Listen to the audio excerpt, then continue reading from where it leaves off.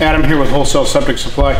We're going to talk about this panel here, which is a simplex panel, and it has a couple more features than the uh, other simplex panel. This is an LPD DT, which stands for dosing timer, and you'll see this little uh, timer right here. So this panel is a simplex panel.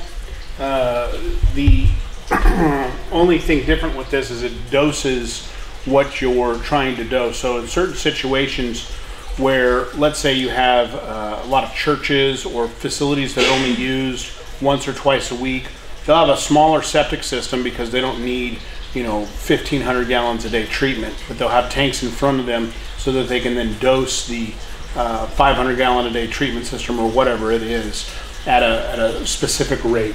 So um, we have a we have a video on the dosing timer as well. Basically, how these work is that let's say I have this set, you have uh, hours on and then off hours. So right now this is set for on for one hour, off for two hours. Now, if I do that, I just changed it. Now it's on for right now and it's on for one hour. Now you'll notice that the light is not on. So in order for it to engage, the float still has to be in the on position. So uh, we get some questions where people say, well, is it going to run no matter what? No, that's not the case. So the float has to be engaged and then it will uh, dose it for a set amount of time. Now this is on hours. You would probably never do that. Usually it's an hour off and then it's you know 30 seconds on because you're trying to dose it uh, 500 gallons or 750 gallons or something of that nature uh, where you're having on-off period. So when the if it if it dosed for that long, this would go down and your light would go off. So if this isn't up, that means there's not enough water in there, so it doesn't need to dose at that time. So then it would dose the next cycle. So, but it's generally timed for that. Now, you can have an aerobic panel set up like this. This is just a simplex, so you'd have this panel up front with a bunch of tanks, and you'd have your aerobic panel somewhere else. Um, this is a simplex panel.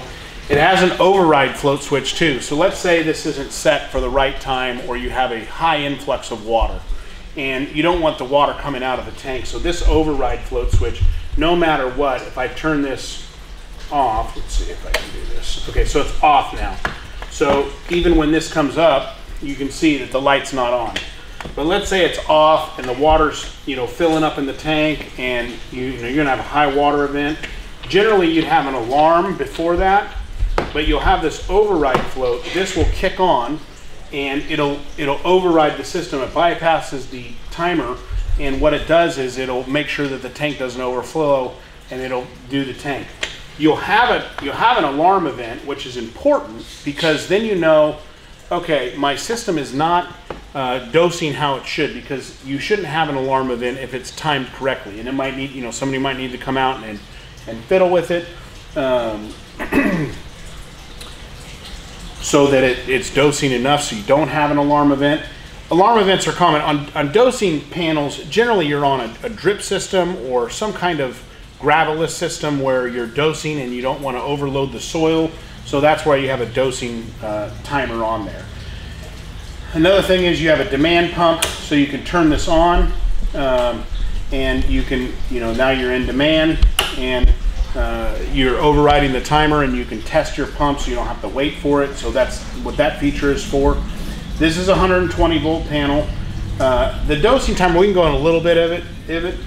How they really work is, you let's say you have a half horsepower pump and in one minute, you look on your performance curve, it'll do 100 gallons in a minute. And you think, well, 100 gallons in a minute, if it pumps five times, that's 500 gallons. So I don't want it to pump that much uh, I needed to pump 25 gallons a minute every time. So then you set your timer and you can set these here for minutes, seconds, all, all kinds of things. There's so many different combinations you can do on this panel. And you would say, okay, I want it to do 25 seconds and you can, you can even change these numbers here too. So with this screw here.